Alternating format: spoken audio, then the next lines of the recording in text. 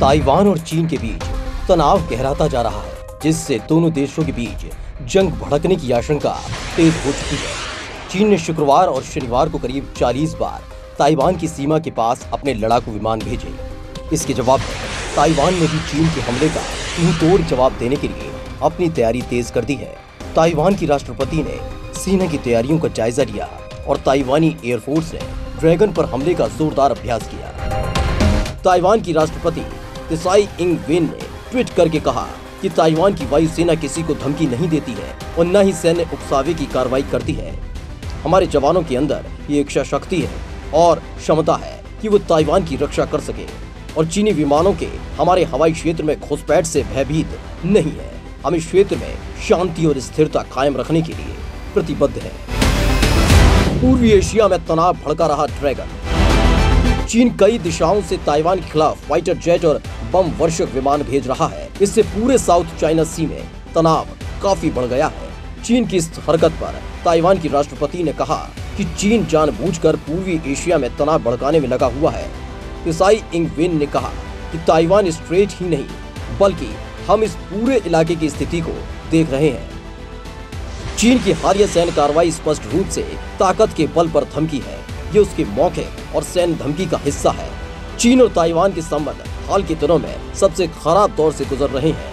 अमेरिकी उप विदेश मंत्री कीथ क्रेच के ताइवान पहुँचने से चीन और भड़का हुआ है। चीन के सरकारी मीडिया ग्लोबल टाइम्स ने कहा कि चीनी सेना के विमान चारों दिशाओं से ताइवान में घुस रहे हैं। हर बार अमेरिका के वरिष्ठ अधिकारी ताइवान का दौरा कर रहे हैं। ये चीन की वन चाइना पॉलिसी की खिलाफत है।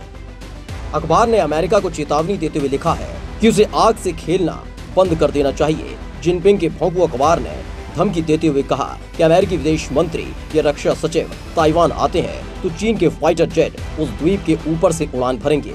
जिन मिसाइलों का हमने परीक्षण किया है, उन्हें भी ताइवान के ऊपर से उड़ान भरनी चाहिए। यहाँ तक कि ताइवानी राष्ट्रपति के ऑफ़िस के ऊपर से भी।